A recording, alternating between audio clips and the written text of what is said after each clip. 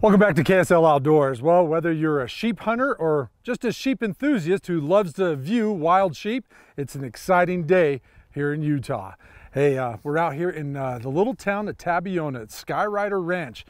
What's happening here is they're making a nursery herd for desert bighorn sheep. Now, we already have a nursery herd for Rocky Mountain bighorn sheep on Antelope Island. This is for deserts, and they're on their way from Nevada. We're in the Valley of Fire State Park, um, and these are the Muddy Mountains behind us. And we are translocating uh, desert bighorn sheep from this area, and we're taking them to Utah. We've experienced some pretty extreme drought the last two years, and concerns about the conditions of the range and the, the forage quality um, have led us to sort of look into ways to reduce that population.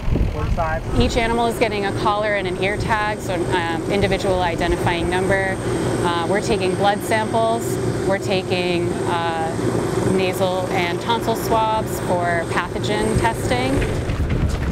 In two days, 31 desert bighorn sheep were captured in the Muddy Mountains.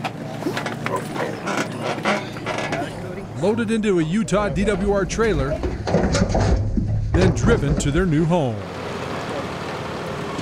at Skyrider Ranch in Tabiona, Utah. So they'll be going back into this enclosure. There's an eight foot fence. It encompasses 1,800 acres. Young Living Essential Oils, a Utah company, owns Skyrider Ranch and partnered with the DWR to provide the land for the sheep. Young Living is a very conservation minded company. And we had the high fence elk operation. We were getting away from it, we we're stepping away from it.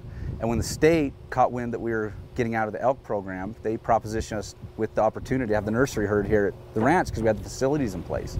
And uh, we took it to the company like this sounds like an amazing thing to be a part of. And it was a very easy, very easy decision to make. The thing with bighorn sheep, you know, they often are faced with some disease challenges when they when they come in contact with domestic sheep.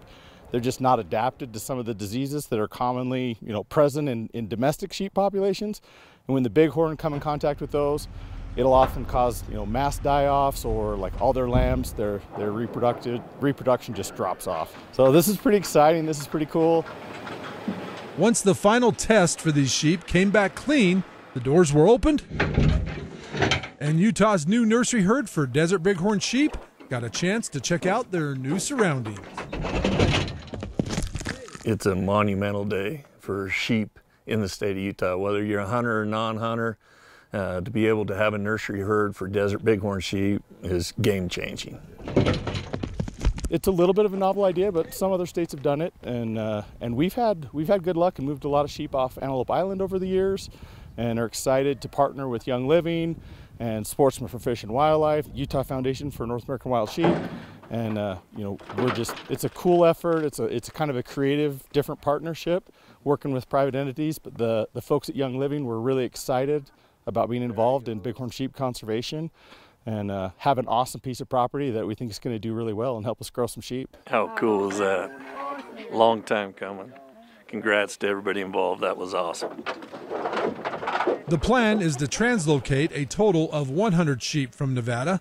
We'll keep you updated on the nursery, and hopefully, in a few years, the DWR will be relocating some of these sheep and augmenting the existing populations around the state.